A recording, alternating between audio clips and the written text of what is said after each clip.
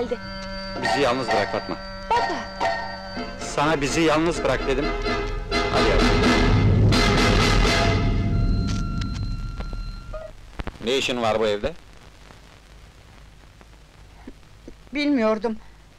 Doktor Burhan Bey'in tavsiyesiyle geldim. Ne dersi vermeye? Kızıma bar kadınlığı mı öğreteceksin, fahişelik mi? Yoksa ihanet dersi mi vereceksin? Kemal, Bu evde soysuz bir meyhane şarkıcısının yeri yok. önce dinle beni sonra suçla. Bir katile bile kendini müdafaa hakkı verilir. Neni müdafaa edeceksin? Söylediklerimin hangisi yanlış? Ben sana hakaret etmiyor, gerçeği aykırıyorum suratına. Yalvarırım, Yalvarmak için de çok geç artık. haksızlık ediyorsun Kemal. Beni mahvettin, hangi haksızlıktan bahsediyorsun?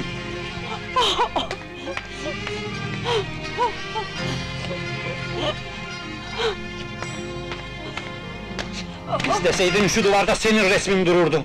Şu kasvet dolu köşke mutluluk saçabilirdin. Karşımda dünyası kararmış kaba bir erkek görmezdin insanlığını kullansaydın. Fatma bizim kızımız olurdu. Ama sen acı bir oyun oynadın bana. Yalnız beni değil, ikimizi birden yıktın. Eğer mahvettiğin bir adamın ıstırabıyla alay etmeye geldinse... ...gördün. Hala ne duruyorsun burada? Ne duruyorsun? Defol!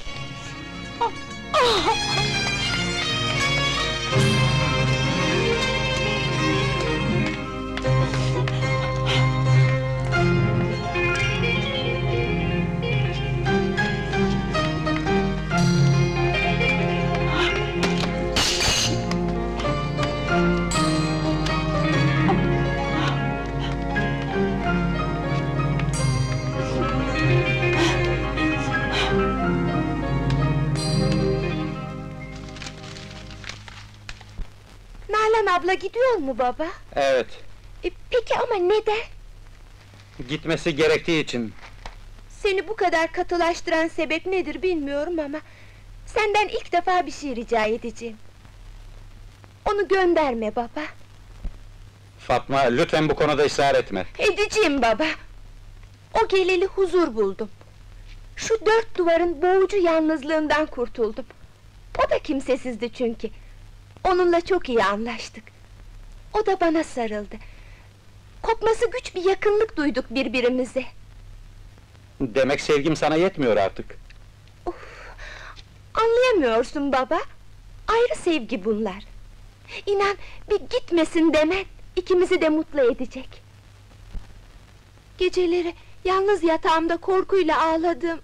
Çocukluk yaşlarımda bile şikayette bulunmadım sana. Acılarımla seni üzmek istemedim çünkü. Ama şimdi üzüntülerime ortak, yalnızlığımı paylaşacak bir arkadaş buldum. Çok görme bu arzumu. Peki, kalsın. Aslan babacığım! Nalan abla!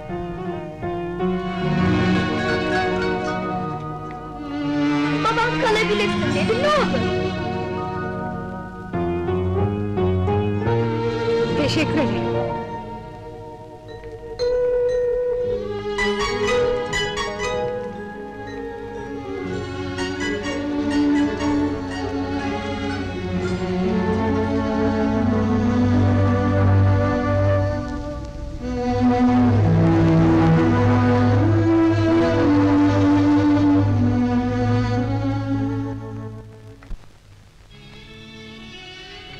Benden nefret etmesine rağmen belki bir gün acı hakikati anlatabilirim ümidiyle kalmıştım Kemal'in yanında. Kısa bir zamanda Fatma ile dostluğumuz büsbütün artmıştı. Ama Kemal'in başka bir üzüntüsü var gibiydi. Büyük bir sırrın ağırlığı altında eziliyordu sanki. Beni sevmeyen, hatta kıskanan baldızıyla sık sık bahçedeki köşke gidiyorlardı. Fatma bile orada neler döndüğünü bilmiyordu. Yıllardan beri tedavi edilen uzak bir akrabadan bahsetmişti ama... ...köşke girmek benim gibi ona da yasaklandığı için hiç görmemişti hastayı. Merakım günden güne artıyordu. Geceleri odamdan bile gözlüyordum orayı. Neydi bu yasak köşkün sırrı? Neydi Kemal'i üzen şey? Bir gün öğrenebilecek miydim acaba?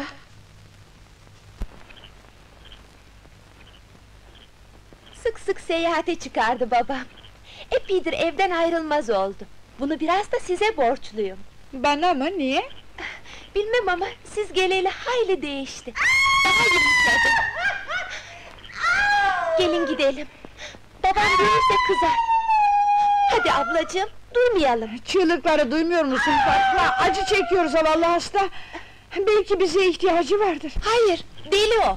Hep bağırır böyle. Hadi gidelim. Babam görmesin. Fatma, Evet baba. sana buralarda dolaşma dememiş miydim? Fatma'nın kabahati yok, ben getirdim buraya. Sen köşke git Fatma. Nalan Hanım'la konuşacaklarım var.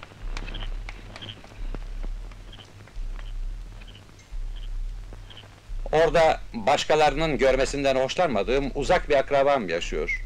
Akıl hastası. Buralarda dolaşılmasını istemem. İnsanların hayatlarında açıklanmasını istemedikleri sırlar vardır. Sanırım siz bunu çok iyi anlarsınız. Hem de fazlasıyla. Yalnız bazı sırları saklamak insanın hayatına mal oluyor. Karşısındakinin de. Ama bazı sırlar dinlenmek zahmetine katlanılsa... Değmez dinlenmeye. Aslında anlatanın gururu olsa, yüz kızartıcı hatıralarını kalbine gömer. Hayatına bile mal olsa. En iyisi susmak. Bazı şeyleri anlatmak öyle zor ki. Vaktiyle ben de bazı şeyler anlatamamıştım birine. Peki ya aldanıyorsanız? Ya gördüklerinize rağmen o suçsuz bir insansa? Ona mutlu olmak için bir şans daha tanımaz mısınız? Aynı şans vaktiyle bana tanısıydı, belki.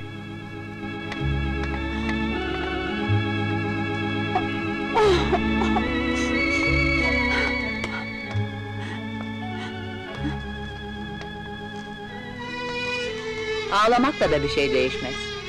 Hele ölmüş bir aşk. Ne demek istiyorsunuz? Açık konuşayım. Niyetiniz belli. Fatma'yı alet ederek babasının kalbini yeniden kazanmak. Sonra şunu da unutmayın. Eğer Kemal bir gün evlenmeye karar verirse seçeceği kadın herhalde siz olmayacaksınız.